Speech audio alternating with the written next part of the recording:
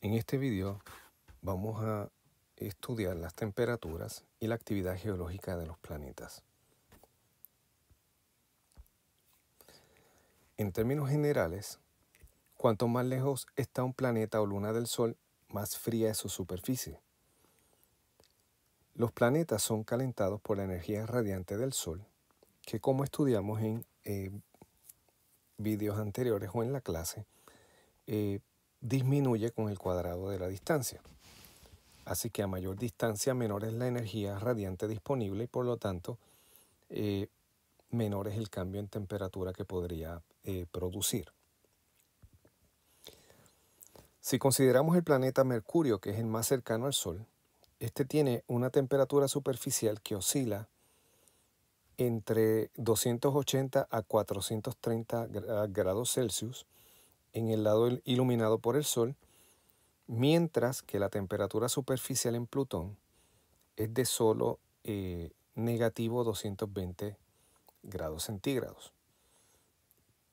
Y es una de las más eh, frías que, se ha medido en el sistema solar y es más fría que eh, el aire líquido.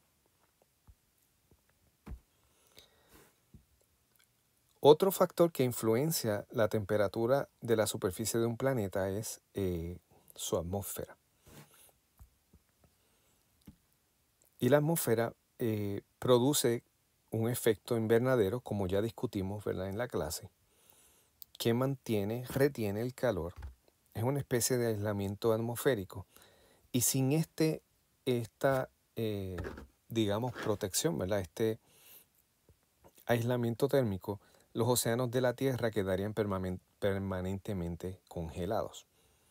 Así que la atmósfera funciona como una especie de eh, invernadero donde se retiene eh, parte de esa energía radiante en forma ahora de luz infrarroja que se remite hacia la superficie y se mantiene eh, en el planeta. Venus es un ejemplo eh, extremo de este efecto invernadero, eh, porque posee una atmósfera de dióxido de carbono bien espesa que actúa como aislante. Y esto reduce el escape de calor acumulado en la superficie y esto da eh, como resultado que en su superficie las temperaturas sean mayores a las que experimenta Mercurio, a pesar de que Venus está más lejos del Sol.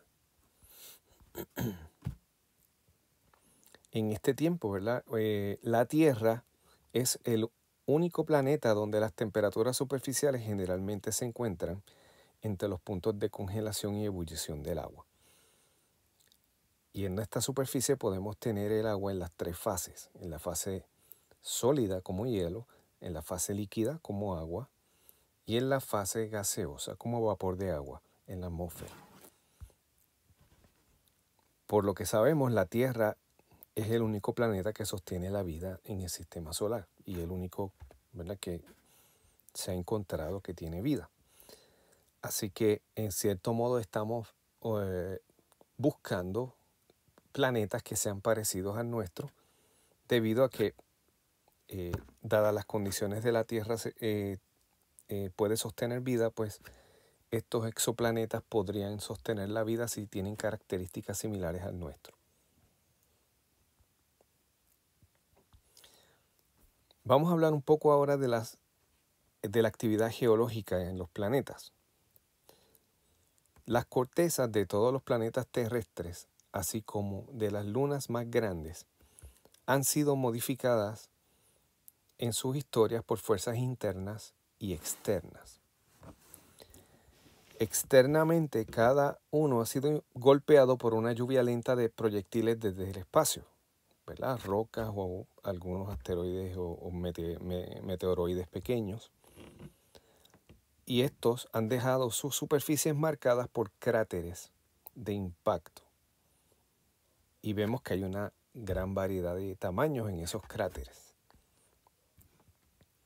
Recordamos lo que discutimos en el video anterior eh, que fue la colisión del cometa Shoemaker-Levy 9 con Júpiter. Esta colisión eh, fue de más de 200, 200 eh, fragmentos y ocurrió en el verano de 1994. Y a pesar de que en Júpiter no va a dejar cráteres en el sentido ¿verdad? De, de estos agujeros que se dejan en los planetas terrestres, porque Júpiter, por ser un planeta gaseoso, no tiene una superficie eh, sólida. Eh, es un ejemplo de que este tipo de colisiones puede ocurrir. Aquí vemos una imagen con los 20 a 21 fragmentos de este cometa, que no siempre fue así, ¿verdad? Este cometa era una, una unidad que se fragmentó debido a la interacción gravitacional con el planeta Júpiter.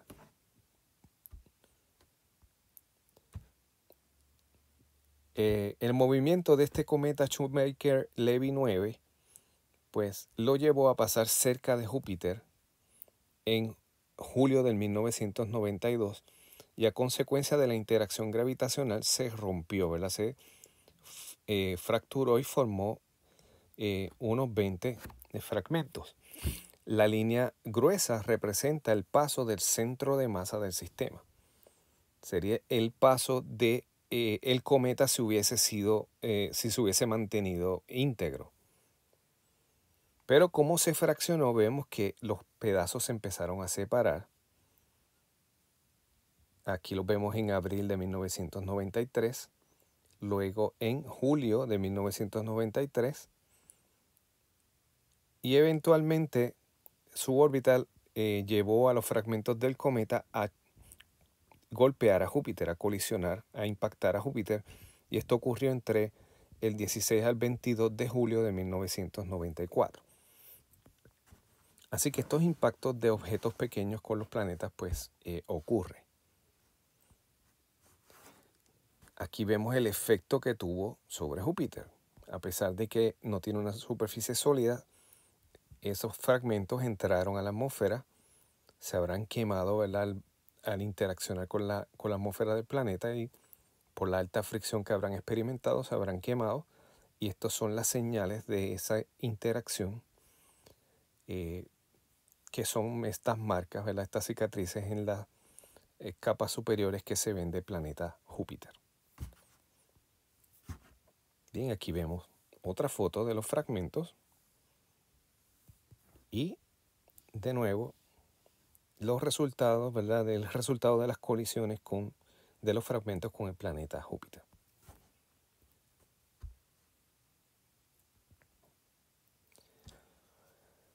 También hay fuerzas internas.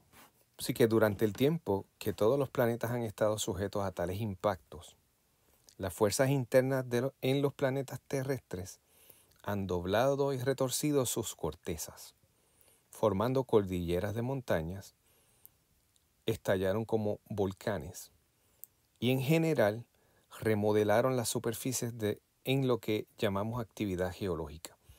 Esa actividad geológica es la que cambia la superficie de la Tierra debido a todas esas fuerzas internas que tienen los planetas terrestres. Y entre los planetas terrestres la Tierra y Venus han experimentado la mayor actividad geológica en sus historias.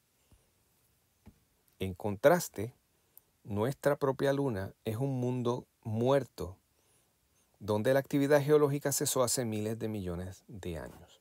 Y vamos a ver ya mismo por qué. La actividad geológica en un planeta es el resultado de un interior caliente. Las fuerzas del vulcanismo y la construcción de montañas son impulsadas por el calor que escapa del interior de los planetas. Ese calor, en el caso de, nuestro planeta Tierra, es el que, el que impulsa la, eh, el movimiento de las placas tectónicas. Y con ese movimiento de las placas tectónicas es que se va eh, modelando la superficie del planeta. Como veremos, cada uno de los planetas se calentó en un momento de su nacimiento, en el momento de su nacimiento. Y este calor primordial impulsó inicialmente una gran actividad volcánica, incluso en nuestra luna. Pero objetos pequeños como la luna se enfriaron pronto. Así que cuanto más grande es el planeta o la luna, más tiempo conserva su calor interno y por lo tanto más esperamos ver evidencia superficial de actividad geológica continua. Así que el tamaño del objeto, eh, básicamente el volumen del objeto define eh, cuánto contenido eh, de energía termal tiene y la superficie del objeto define cuánto escapa. Y en el caso de objetos más grandes, pues el volumen por ser mayor implica que tienen mayor cantidad de energía termal. Y aunque tienen mayor superficie, el calor no escapa tan rápido como para enfriarse primero, sino que los objetos pequeños son los que se enfrían primero.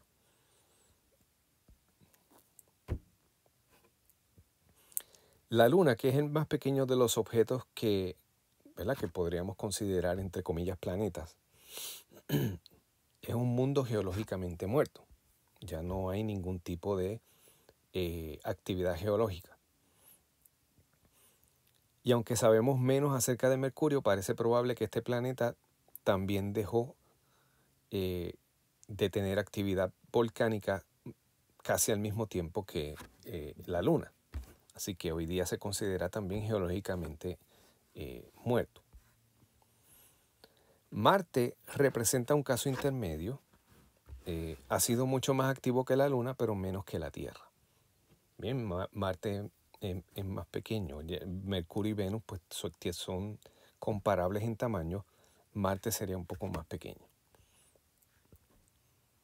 Así que la Tierra y Venus, los planetas terrestres más grandes, aún tienen interiores fundidos incluso hoy, unos 4.500 millones de años después de su nacimiento.